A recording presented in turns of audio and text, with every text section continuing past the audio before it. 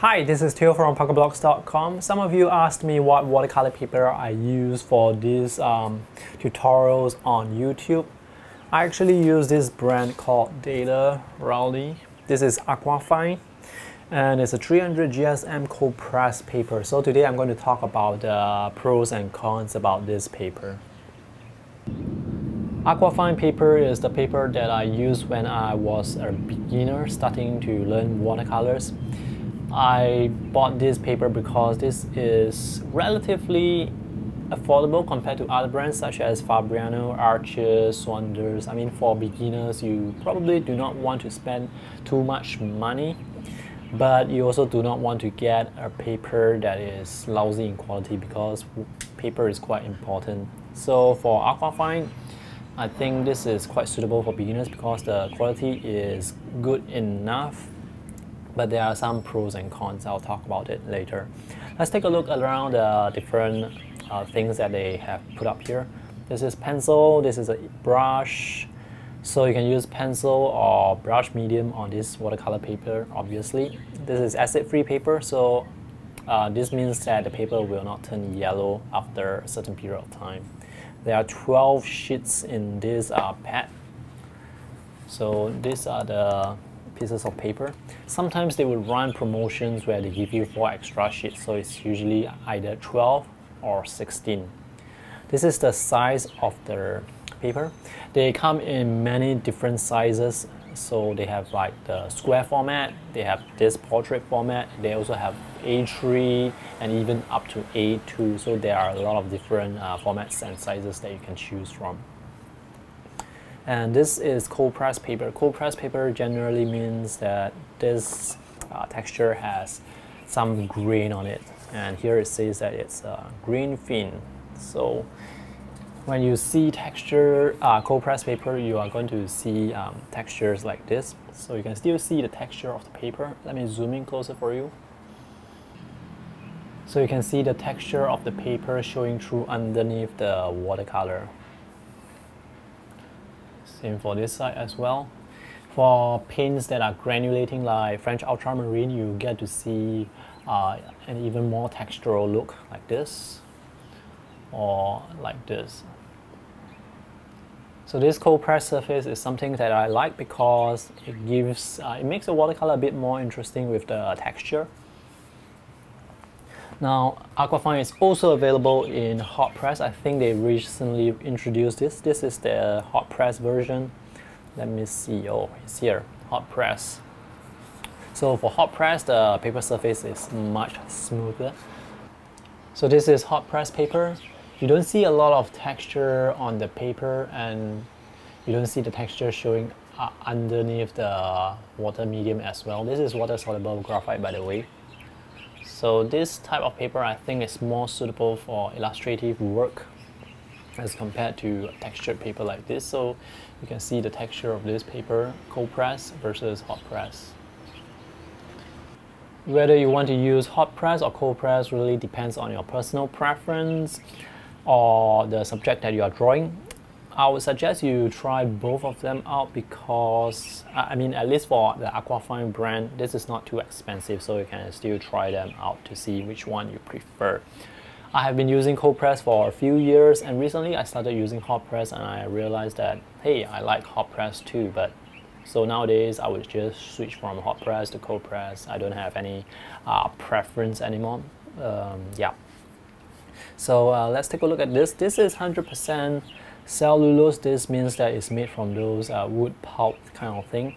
Now for premium watercolor, they are made with 100% cotton paper. So the difference between cotton paper and cellulose is cotton paper is more durable and it can handle water very well. It absorbs water much better. For cellulose, you can handle watercolor uh, quite well, but when you start layer, layering putting a lot of layers of watercolor, the paper fiber starts to break up and you will see some of the fiber coming out. So it is best not to use too many layers on um, this paper.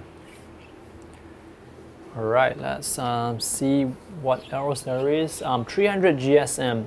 this paper only comes in 300 GSM, so this is relatively thick. If you want to use both sides of the paper, you can do so, uh, no problem at all.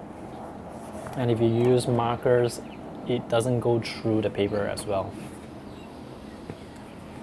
And lastly, this is made by Daler Rowney Bracknell, England. So this paper is made in England. Let me show you some of my demo sketches and also some things that I drew. This is actually from another tutorial. So this is the type of look you can get. You can see the texture of the paper. This is quite obvious.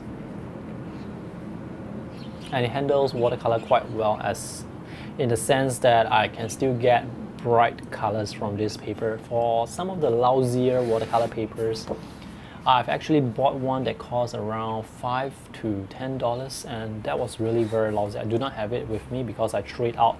Anyway, the difference between that lousy paper and this paper is when I applied watercolor on that paper, the colors they um, immediately became muted, they dulled down.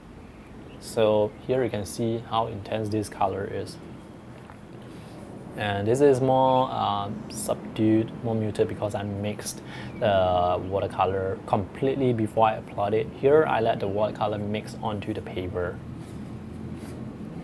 And this is the sketch earlier. And these are some color swatches from Van Gogh watercolor. So you can see the colors are quite strong. And this is uh, this is a color swatch with some Daniel Smith watercolor. So you can see you can get this granulation, the transitions in colors on this watercolor paper.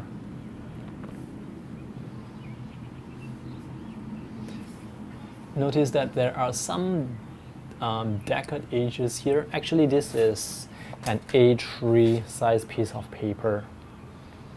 I do not usually draw in A3, so I decided to just fold the paper and then tear it off and to make it into a half A3 which is A4 size.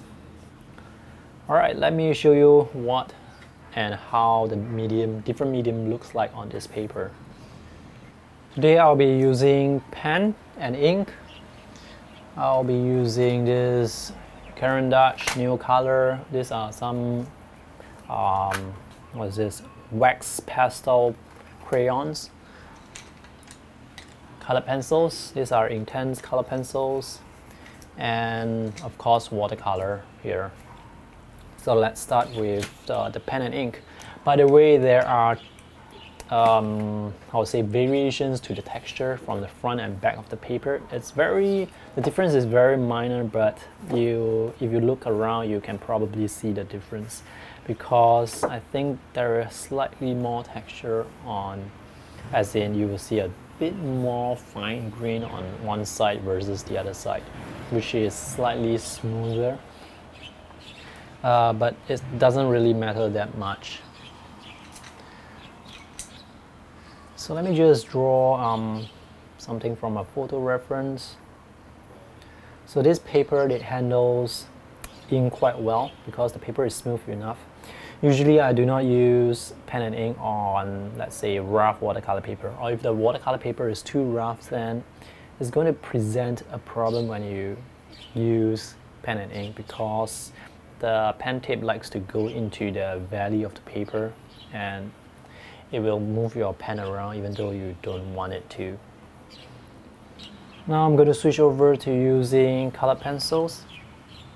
For color pencils, um, because the watercolor paper has texture, you do need to, if you want the color pencils to show, you might need to do the lines or you might need to shade the color pencils uh, more. For example, if I were to shade it like this, you can still see a lot of white of the paper showing through. So for color pencil, I do recommend fine grain paper, not as coarse as cold press.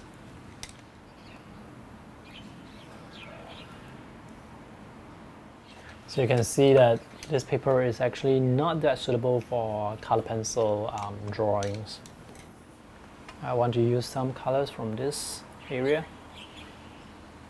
Let me just put water onto the colors that I want to use.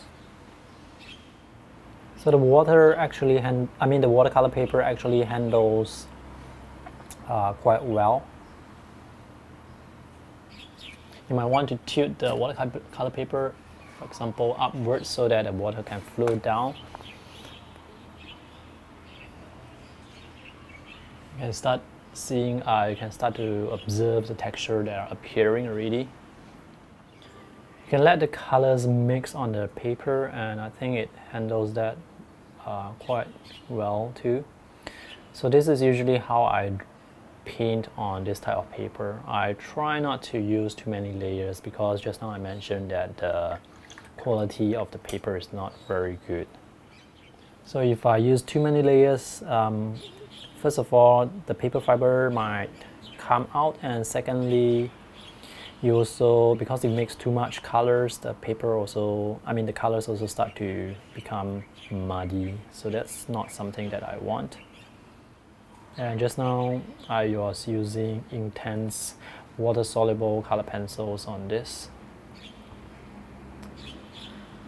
So it might actually dissolve the color lines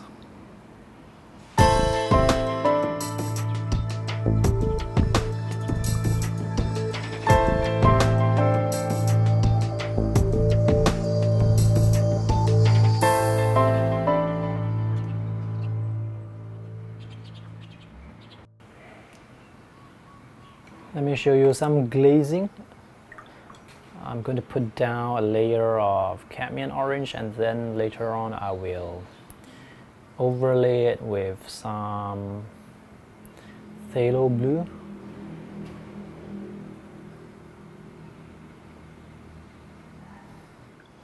The left side has dried but not on the right so I will just uh, glaze on the left side and work towards the right side and then the colors will blend together on the paper.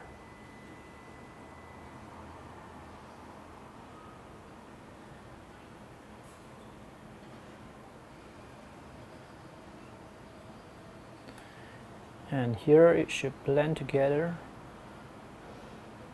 you can see the colors moving in the orange color moving in and this is how it looks like when it's almost dry. So this paper is good for glazing as well, just as long as you do not use too many layers because the watercolor paper is not that durable.